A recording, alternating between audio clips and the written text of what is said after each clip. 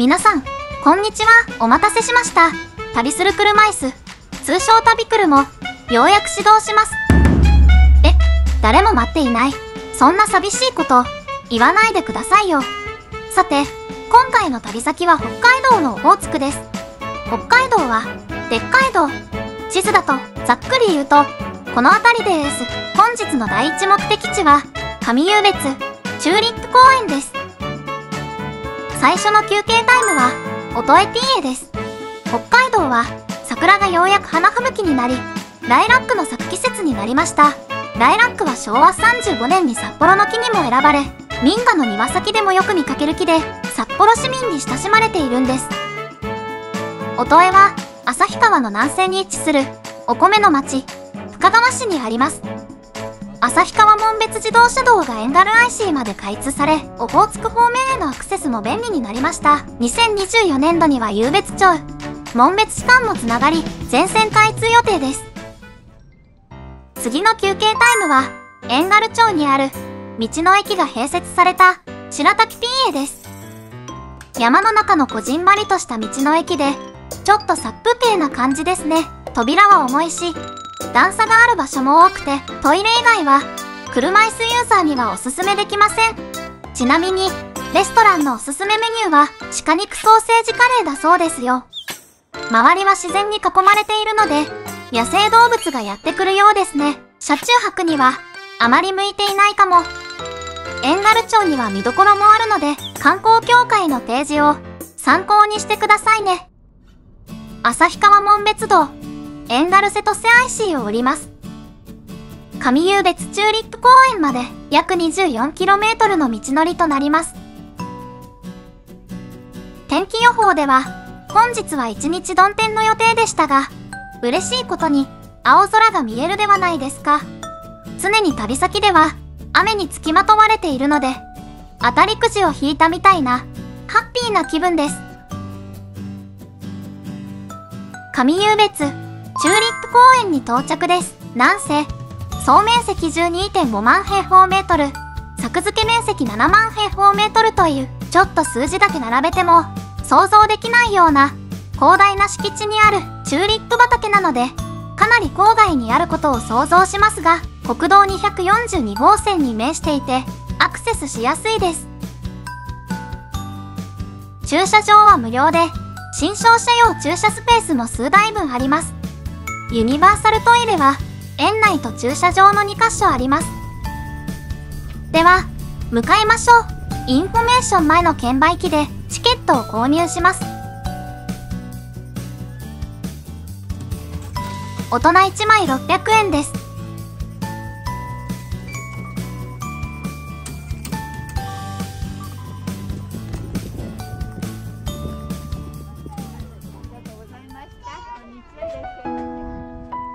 入り口で公園ガイドをもらいます。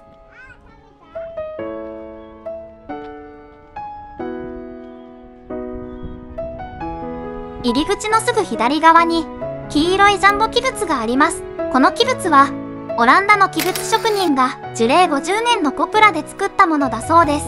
長さ225センチ、重さ300キロもあるんですって。右手の花壇には8種類の原種を含んだチューリップが植えられているそうです。風車型展望台の周りのチューリップは色とりどりで可愛らしいですね。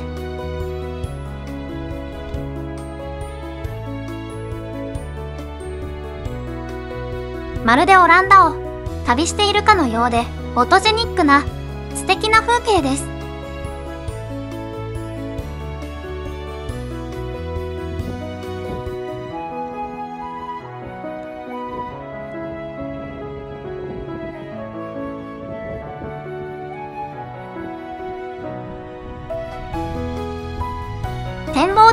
登ると広い園内を一望できる眺望スポットとなっていますが残念ながら階段しかないので車椅子では上がることはできませんその他の歩道についてはおおむね平坦で段差はなくほぼ全体を回ることができます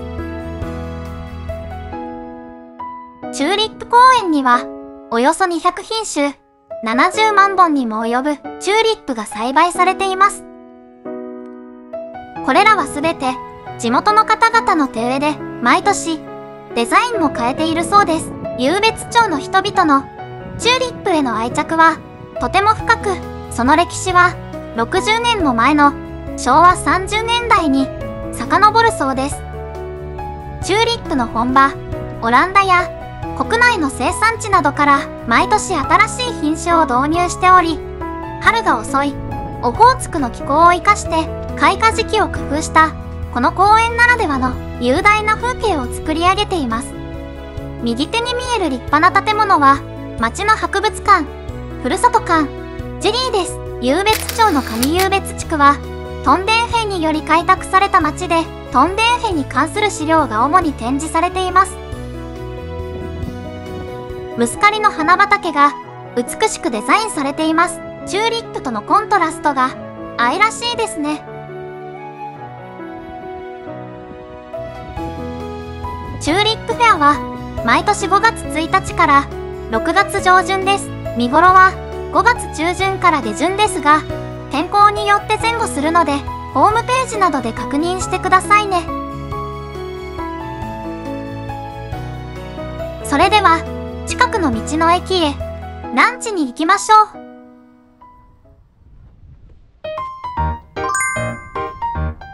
施設内にある食事処チューリップは地元食材が味わえるレストランです。湧別町のブランド牛である湧別牛ステーキ定食やホタテフライ定食など美味しそうなメニューに定評があるそうです。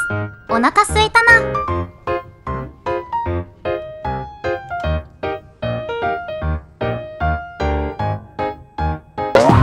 残念なことにランチタイムは終わってしまい準備中になっていました。チューリップ公園で。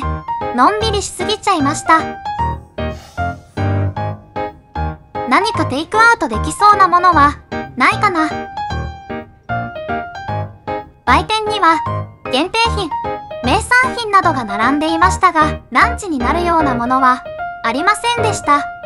ちなみにこちらの施設の天然温泉は大きな窓がある浴室の開放感が満点で泉質が良いと評判なのだそうです。フィンランド製のオートロウリュ式サウナもあるので、サ活もバッチリですね。湧別町から本日の宿がある北見市所町へ向かいます。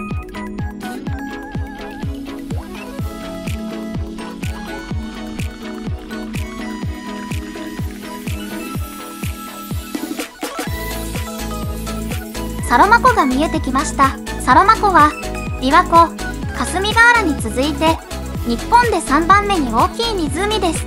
約 20km もの差しでオホーツク海と隔てられている汽水湖でホタテカキ海苔などの養殖が盛んです。またサロマ湖に沈む夕日の美しさは日本屈指と言われています。次の寄り道は道の駅。サロマ湖です。すっかりランチ難民となっていますが次の道の駅で空腹を満たすことはできるでしょうか？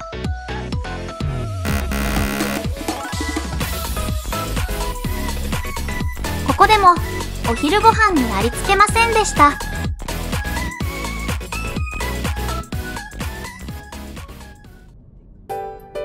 まっすぐ北見市常呂町へ向かうことにしました。ランチを諦めたわけではありません。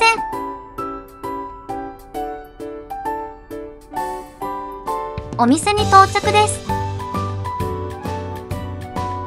食への飽くなき探求心。いやいや、ただの食いしん坊の優と愛なのでした。お腹ペコペコです。レストハウスところはところのドライブイン的食堂で海鮮、定食、ラーメン等メニューが豊富です。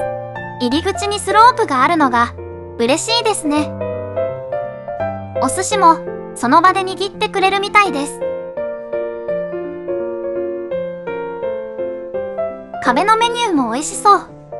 ちゃんとお昼時間に来れたらホタテ尽くし定食を食べたかったのですが、もう夕方に近いので、軽めにします。とはいえ、ところと言ったら、ホタテが滅産ですから、これを外すわけにはいきません。もう頼むものは決めていますが、メニューをご覧ください。オホーツク、貝柱塩ラーメン、お願いします。ラーメン、来ました。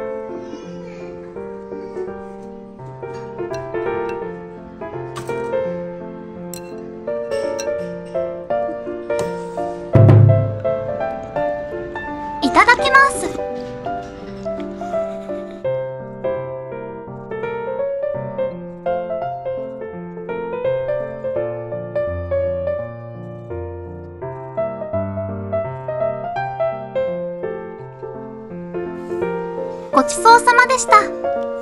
美味しかったです。次回は絶対、ホタテ尽くし定食を食べるぞ。レストハウスところのすぐ近くにはアドビックスところカーリングホールがあります。こちらのカーリングホールは国内最大の競技場数6シートを備えた専用屋内施設であり数多くのオリンピック選手やラーを輩出しているんです。五輪メダリストロコ・ソラーレの練習拠点として有名になりました。シーズンオフなので閑散としていましたが練習見学もできるようです。カーリングホールから宿泊ホテルまでは約7.4キロ車で8分の道のりです。お部屋がサロマ湖に面していて水平線に沈む美しい夕日を望むことができるんです。とても楽しみです。景観やホテルレポについては次回の動画でお送りいたします。ご視聴ありがとうございました。旅する車椅子旅くるを応援してもいいよって思った方はチャンネル登録とグッドボタンをよろしくお願いいたします。それではまた。次の動画でお会いしましょう。